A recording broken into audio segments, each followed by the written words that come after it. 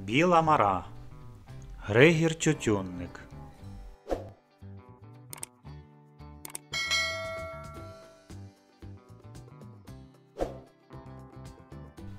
Не було ще такого літнього ранку, хіба вже каміння з неба, щоб дід Арсен, прозваний бушлею, сидів вдома.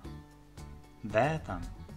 Як тільки над обрієм зажевріє, велика досвітня зоря, вже Арсен на ногах, почепить через плече стару шкіряну торбу з вареним зерном, що пахне кутею, рибі на принаду, убгає в кишеню круглу бляшану баночку з великими й малими рибальськими гачками, вудки в руку і гайда до річки.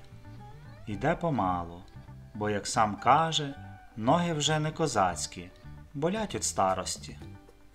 А на дворі світає і світає, на луках туманець при самій траві стелиться.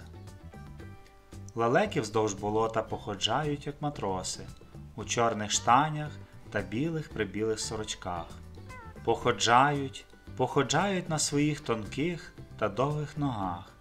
Потім дивись, і знявсь котрийсь полетів, а в червоному дзьобі жабеня, дітям своїм лелеченятам сніданок поніс. Ба, скаже тоді Арсен, задерши голову до лелеки. Ухопив, кажеш? Ну неси, неси, погодуй своїх голопуцьків. І чимчикує собі далі, вудки на плечі, колих, колих, гачки в баноці, брязь, брязь. Уже й до річки недалеко, вологою з лісу потягло та мокрою глиною скруч. На річці теж туман, та такий густий, що й води крізь нього не видно, а тільки чути, як вона шепелявить у кущах верболозу. Течія сильна. Кахи, кахи, закашляє Арсен, бо важко йому в тумані дихати, а з-під кручі котрийсь ранній рибалка. Ану, діду, не кашляйте лишень, бо всю рибу порозганяєте. Жартує. Постоїть Арсен трохи під кручею, погомонить з рибалкою та й покашляє далі. Тільки но вибухає Арсен своє кахи, так поперед нього або сонний заєць підскочить і дремене геть, або припутень з гнізда зірветься, або вепр злякано хрокне і затріщить сухим хмизом, тікаючи. Бояться лісовики дідового кашлю. Іти Арсенові недалеко, до того місця, де верба у воду впала. Як він був ще молодий, упала та й досі лежить, бо таки міцно вчепилася корінням за кручу. Якої тільки риби не водиться біля тої верби дідової. Вдень соми в усачі в корчакуватому гіллі сплять, уночі вайлуваті лящуки та дужі, як воли коропи, поміж тим гіллям нишпорять, смакуючи варене зерно, що його на дно сипле для принади. А вранці ще й прудкі краснопері в'язі навідуються, тож ловиться Арсенові рибка щоднини. Тільки одного разу не прийшов бушля до річки. Усі рибалки, що вудили в той ранок, страх як здивувалися, міркували і сяк, і так, може, занедужав старий, може, заспав, бо в таких літах на зорі тільки й спиться, а вночі думки всякі в голову лізуть та привиди, старече безсоння. Аж воно не захворів Арсен і не заспав, а сталося от що. Вставши, як завжди, раненько, прихопив Арсен своє рибальське начиння та й пішов з двору. На небі поміж хмарами ще висів блідий ріжок місяця, а на сході вже біліла вузенька смужечка світанку. Арсен пристояв біля повітки, обмірковуючи, що його робити. Прийти до річки в отаку рань, поплавків на воді ще не буде видно, до того ж попереду крута балка. Про цю балку він за своє життя наслухався таких жахів, що й зараз, на старості, побоювався вночі тієї чорної прірви при самій стежці до річки.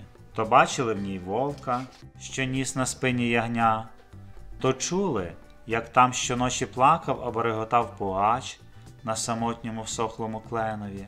Арсен знав, що все те могло бути, знав і те, що справжній страх не такий уже й страшний, як вигаданий.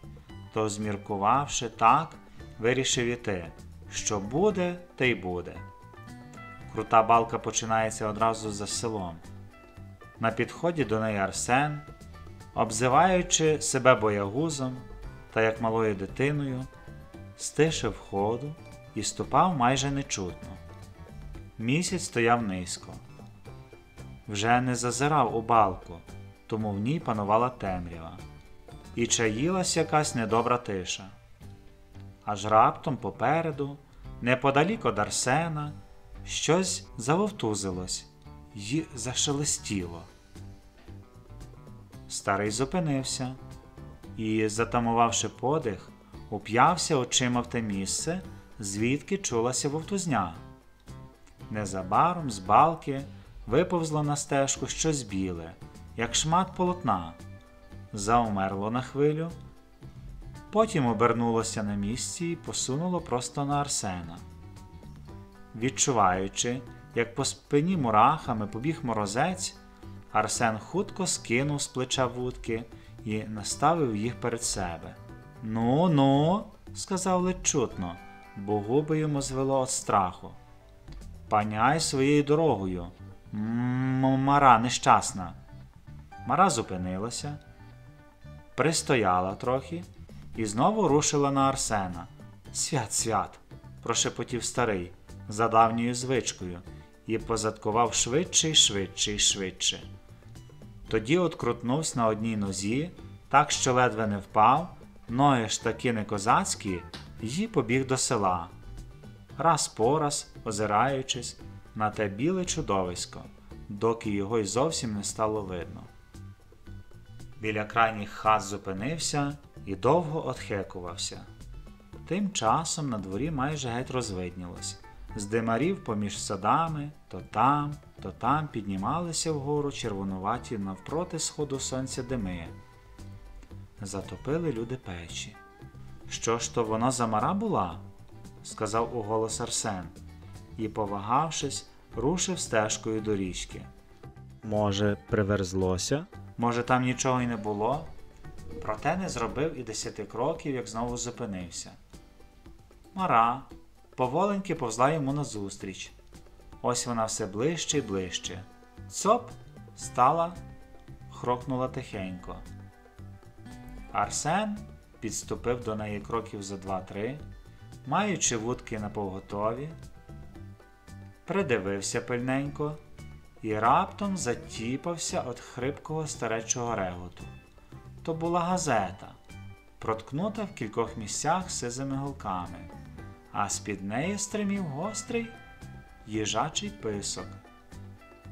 То це ти, парубче, лякаєш діда, геш? похлинаючись реготом, вимовив Арсен. На гніздо собі тягнеш, чи що? Їжак сердито хрокнув, обминув старого і поволік газету до села. Слідом за ним, поклавши вудочки на плече, потупцяв і Арсен. Бо яка ж теперечки риболовля? Як воно вже сонце з запруга вихопилося. А до річки ще йти та йти. Чого це ти сьогодні так рано вернувся? здивувалася Арсениха, коли Арсен, поклавши вудки на кілочки під стріхою, висипав курям варене зерно. Та сховав очі під кошлатими бровами Арсен. Води прибуло багато. Який же кльов, як вода прибуде? Ніякого. І пішов у хлівець на сіно досипати недоспаної ночі.